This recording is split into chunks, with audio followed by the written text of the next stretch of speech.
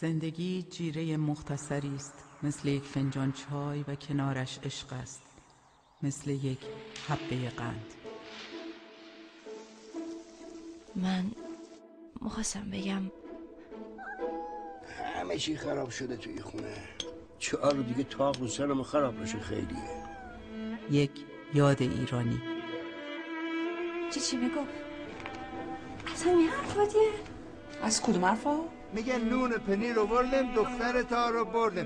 نون پنیر فرش مسیر که ما کشید که ما کشید در رخگر نمیشه آقا دومادم اومد.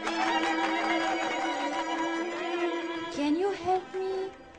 I am lost. I am looking for this address.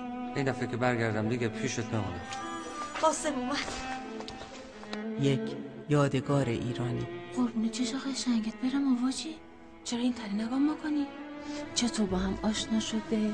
کجا با هم آشنا شده؟ چطور عشق عاشقی داشته؟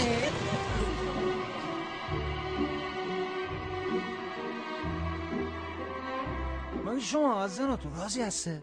نه خدا که راضی هسته. راضی نیستی دیگه. ازم جعفر ببین چقدر خشک شده. تو چجوری اینجوری شدی؟ یالا یالا یالا یک خانواده ایرانی. زندگی جان من دعا کن. الو؟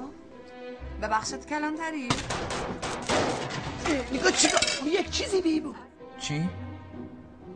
هیچ. سلام قاسم. سلام. الله اکبر.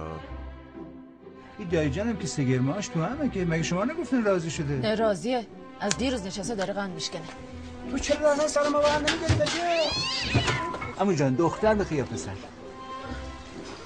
الان خسته است خوره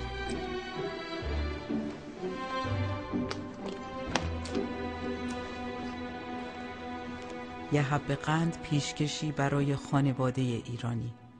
فیلمی از رضا میرکریمی.